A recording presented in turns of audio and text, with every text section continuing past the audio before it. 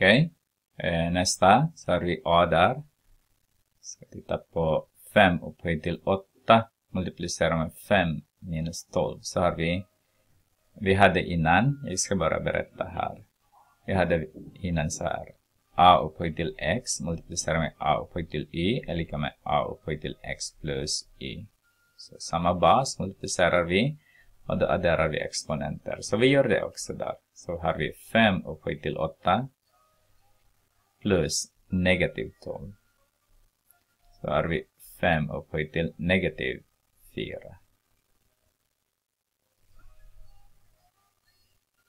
Okej. Okay. 5 upphöjt till negativ 4. Och det är ju 1 genom 5 upphöjt till 4. Varför det? Därför att vi har a upphöjt till negativ x är lika med 1 genom a upphöjt till x. Så har vi 1 genom, vad blir det där? 25 gånger 25. Alltså 5 multiplicerar med 5, multiplicerar med 5, multiplicerar med 5. Så har vi 1 genom 25 gånger 25 som jag gissar 625. Den kan jag utan till. Det är inte många som jag kan, men den kan jag utan till.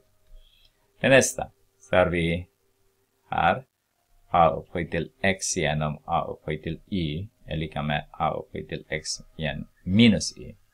Så vi gör det också. När, vi när ni ser ingen exponent, det är hela tiden 1.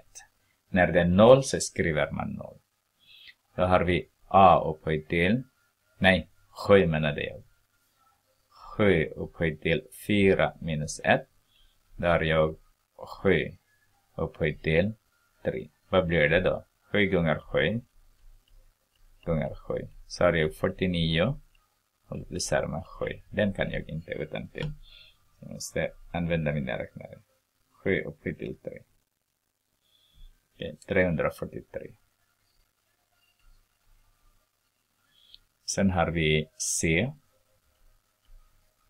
Då har vi den här A upphöjt till X upphöjt till Y. Så vad gör man då?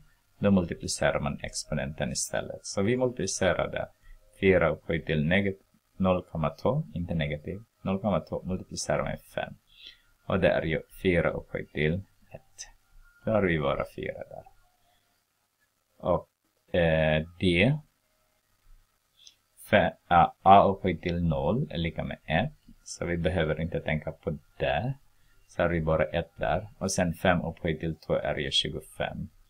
Och det är ju, om vi förlänger med 4 så att jag ska visa till er. 4 genom 100 så blir det 0,04.